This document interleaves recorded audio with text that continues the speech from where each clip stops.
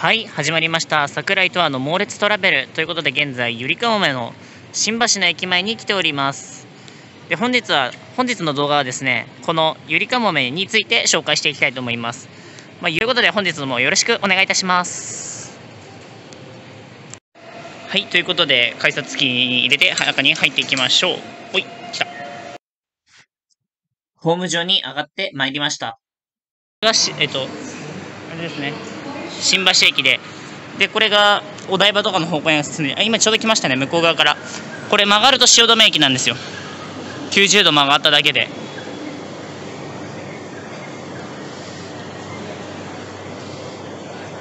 えー、汐留、えー、お台場方面からゆりかもめの列車が入ってまいります。今回乗る列車は32番の車両らしいですね。32番っていうのかな。ここにね32番って書いてあると思います。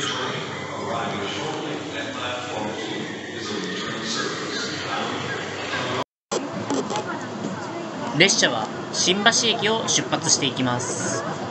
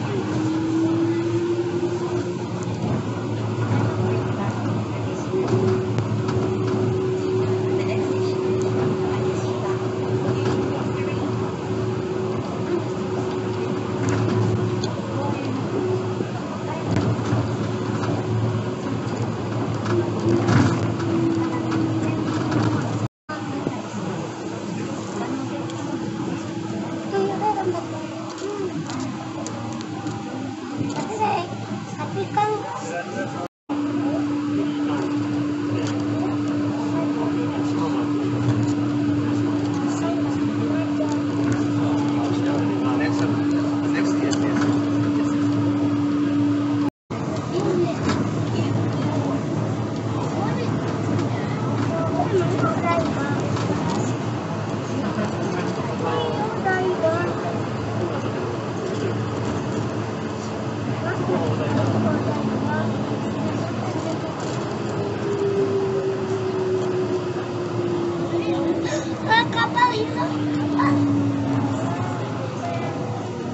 One ferry per hour. So if there's no ferry, we can go by, go by train.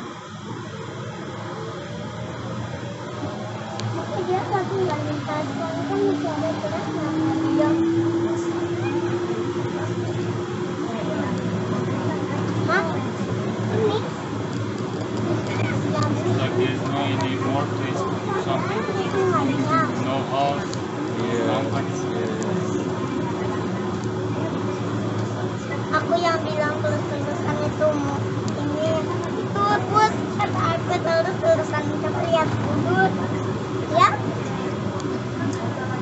列車はループ線を登ってレインボーブリッジへ入っていきます。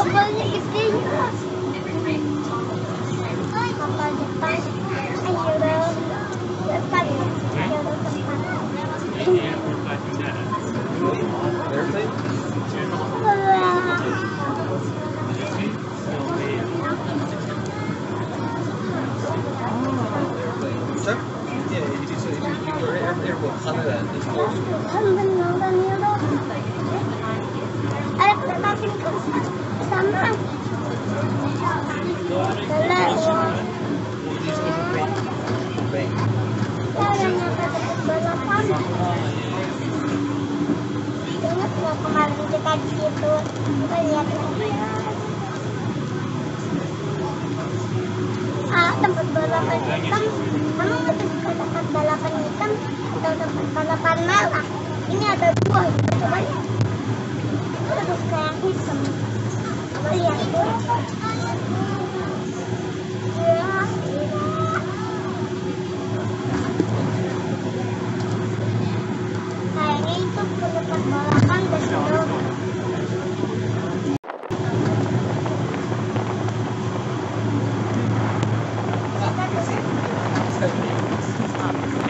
リッジ内はこのこういうねカバーがあるので歩道側からですとあんま見づらいですね。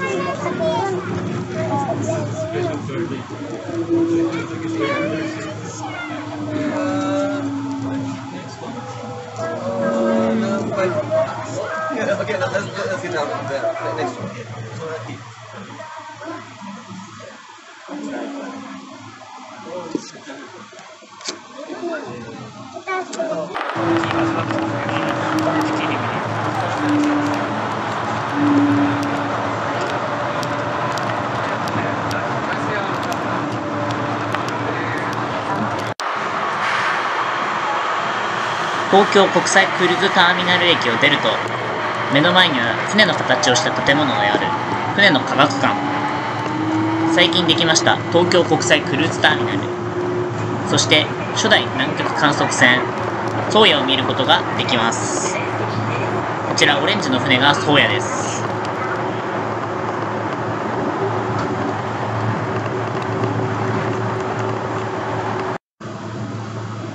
物車はテレコムセンター駅に到着いたします。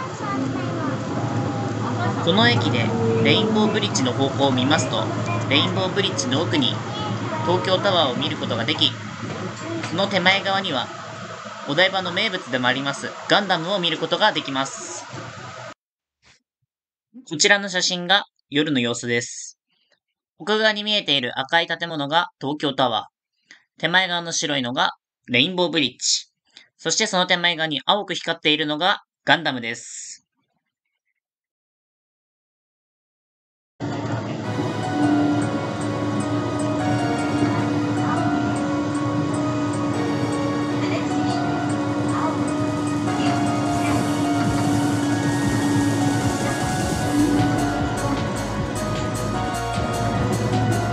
テレコムセンターと次の青海駅の間で進行方向左手側にガンダムを見ることができます。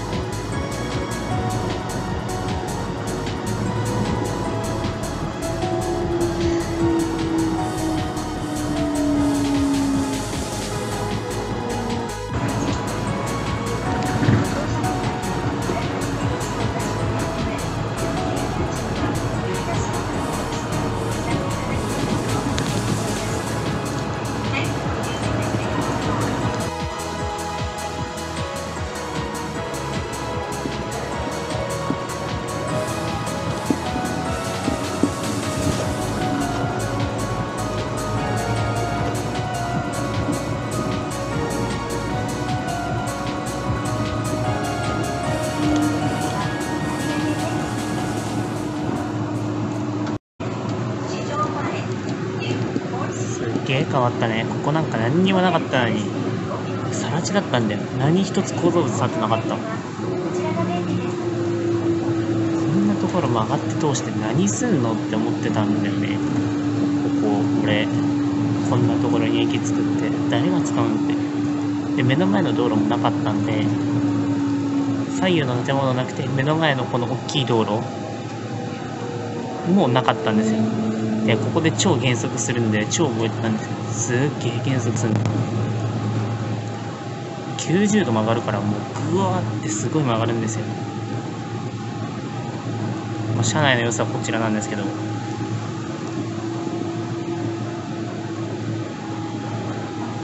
すっごい曲がりますね。前以前来た時ちっちゃ来たんですけどその時も市場前っていうのが豊洲市場だっていうのはねこんなになると思わなかったですね。